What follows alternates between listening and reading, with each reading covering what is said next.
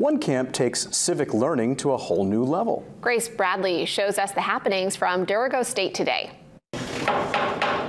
High school students turned delegates congregated to caucus at Dirigo State this week. The week long camp is a mock state government where students establish political parties, hold elections, and represent towns, cities, and counties. Dirigo State started two years ago with the culmination of moving Bo- Dirigo Boys State and Dirigo Girls State into one unified program. Dirigo State is the first model state government co ed camp in the nation, and it is for students from all across Maine who just completed their junior year. The American Legion Department of Maine sponsors the camp and makes sure every attendee has free tuition. The goal of the camp is to introduce students to political and governmental processes through hands on experience. Design different breakout sessions to familiarize the student with how things are, give them a comfort zone, give them a voice. It's a big, big piece to make sure that they are leaders. Despite it being a mock state government, the students transform to fit the roles required of them.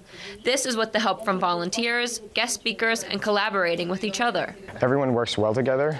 Everyone is good at one certain thing, and when we combine our strengths and our ideas, we get things done very fast. Working with people is ultimately the most important thing, especially in a world where it seems like we are more divided than ever.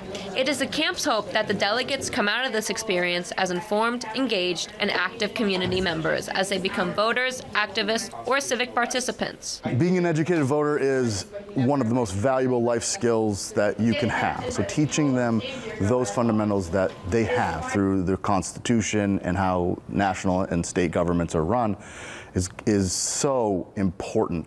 Grace Bradley, WABI TV5 News, Waterville.